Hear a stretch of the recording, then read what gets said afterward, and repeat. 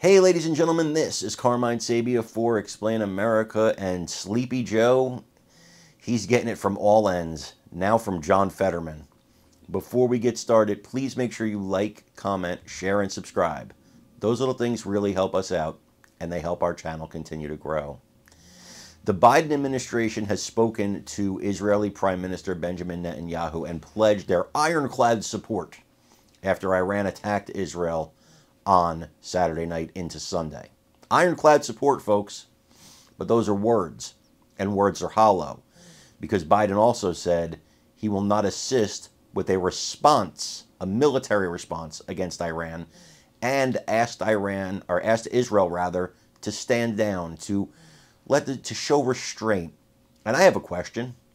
Why is Israel the only country that the day after their attack that happened on October 7th Happened again just last night. The day after they're attacked, they're the ones being told to show restraint. If Israel didn't show restraint, Gaza wouldn't exist, and neither would Iran. It's time for Israel to stop showing restraint and start showing force to defend its people the same way we would, the same way Britain would, Canada would, France would, anybody else would. How dare anybody ask another country to show restraint after their people are attacked living in fear? John Fetterman, he's had enough of it. And he stands firmly against the president on this issue. I want you to watch what he has to say. This is just breaking. So take a look at it and let me know what you think. Please remember to like, comment, share, and subscribe. I'm Carmine Sabia for Explain America. We love you guys. God bless you.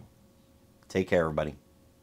And welcome back to this expanded uh, live edition of State of the Union. I'm Jake Tapper. Quote, Together we shall win. That is the message from Israeli Prime Minister Benjamin Netanyahu in his very first public comments hours after Iran aimed hundreds of missiles and drones at Israel in an unprecedented attack. Joining us now to discuss, Democratic Senator John Fetterman from the great Commonwealth of Pennsylvania. Uh, Senator, what is your reaction to Iran's attack on Israel, and how worried are you that this is the beginning of an open war between the two countries? Well, it, a couple of things actually. I think it really demonstrates how it's astonishing that we are not uh, standing firmly with Israel, and there should never be any kinds of conditions on all of that. When a nation can launch hundreds of drones uh, towards Israel, and I'm not going to be talking about conditions ever. And second, I, I think that also was Iran had to have some fireworks after Israel uh, smoked that Iranian uh, general. And, and I am here for that.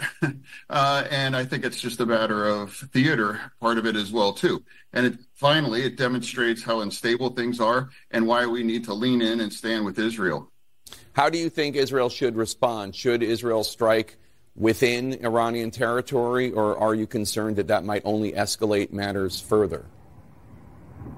Well, I'm I'm not going to, to suggest what Israel should or shouldn't do on that, but I also do think that Iran is pleased with they have enough of money on the table with all of its proxies all around in the region as well too, and Iran certainly can't take on Israel, uh, and certainly not us.